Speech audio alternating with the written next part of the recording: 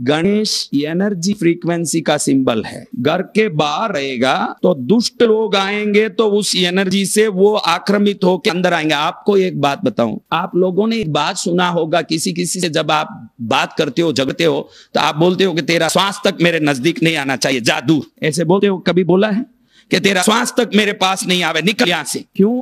कि आपके विचारों की धारा श्वास से ही बाहर जा रही है। नज़र, आप लोग बोलते हो ना, मेरे बेटे को नज़र लग गया। आपको पता नहीं है कि ऐसा कौन सा नज़र वाला जो आपके बेटे पर नज़र डाल देगा। नज़र से कुछ नहीं होता, क्योंकि आपके नज़रों में पावर नहीं, आपके वसंत विजय जो नज़र में पावर आए। आपके नज़र में कोई पावर नहीं है, लेकिन साधारण से साधारण आदमी भी जो सोचता है वो सोच उसके श्वास से होकर के ब्रह्मांड की ऊर्जा में मिंगल होता है। इसीलिए कुछ घरों में जाके जब भी आप आते हो, कोई पार्टी में या कोई घर में, किसी रिलेटिव में, अपने घर आते ही लड़ाई होता, आप देख सकते हैं। उन घर में जाके आया और इधर अपने घर में लड़ाई शुरू हो गया।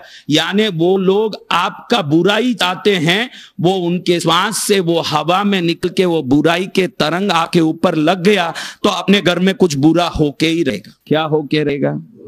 ये श्वास का प्रभाव है। तो गणेश क्या करते हैं कि अगर बार दरवाजे पर फ़ोटो हो तो ऐसी बुराई लेके आने वालों की जो तरंगों हैं, अपने में खींच के वो बुरा आदमी को नील करते अगर वो अंदर हो तो जब हम बाहर जाएँगे, हमारी पूरी एनर्जी ग्रास्प हो चुकी होगी, हम बिल्कुल निशक्त हो जाएँगे। जो जिस घर में अंदर की तरफ़ भगवान है, उस घर में लोग थोड़ा शक्ति कमज़ोर महसूस करेंगे, भाई मेरे को थकान आ रहा है, अभी आपको ही देखो तो आप बोलेंगे, दोपहर में थोड़ी देर सो जाऊँ, मेरे को रेस्ट करना, ये आपका आदत होगा, इसका कारण मात ये फ़ोटो ही है। ये फ़ोटो अगर पूजा कमरा में आ जाए, आप भी हाथी की तरह बलवान हो जाओगे, न वहाँ लगा रहेगा तो हाथी की तरह शक्ति चूसी जाएगी। समझ रहे इसलिए घर के अंदर नहीं होना। अगर गली बाहर है दरबार कल बताया किसी को अगर घर के बाहर गली है तो बाहर गणेश लगा देने से वो गली में जितनी ऊर्जा जा रही है, गणेश जी खींच के घर को ठीक करेंगे।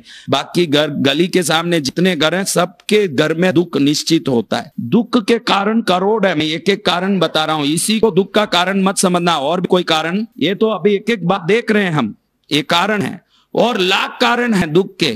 दुख के कारण लाख, सुख का कारण एक ही है। दुख का कारण कितना?